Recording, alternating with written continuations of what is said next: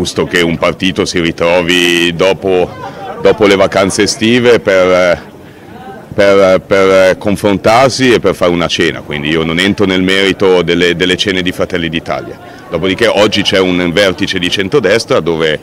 al centro del dibattito e sul tavolo ci saranno i temi della manovra e noi come Lega riproporremo il tema del taglio del cuno fiscale e il tema delle pensioni che è quota 41. È una proposta che tra l'altro abbiamo condiviso nel programma di centrodestra con gli altri partiti, dopodiché ci sono quattro anni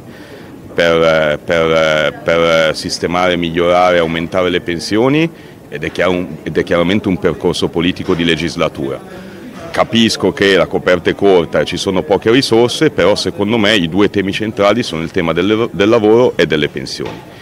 Il tema delle pensioni c'è un dibattito su alzare le pensioni minime o quota 41, secondo me l'innalzamento delle, delle, pensioni minime porterebbe a uno squilibrio tra chi ha lavorato di più e tra chi ha lavorato di meno. Quota 41 invece è un provvedimento più trasversale che andrebbe chiaramente a favorire il pensionamento di quelle persone che hanno lavorato per 41 anni e un ricambio generazionale all'interno del mondo del lavoro. La sentenza della Corte dei Conti tedesca che ha bacchettato il governo, si rischia di tornare un rigore rispetto all'approvazione un nuovo patto di stabilità, avete paura di questo?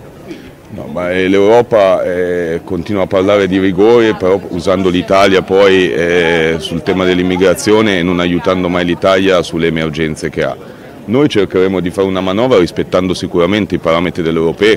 chiedendo un po' più di, di, di deficit come hanno fatto gli scorsi governi, perché chiaramente eh, le, le, risorse a disposizione sono poche. Dopodiché l'atteggiamento dell'Europa è un atteggiamento nei confronti di questo governo che non è molto amichevole, però vediamo nei prossimi mesi cosa succederà.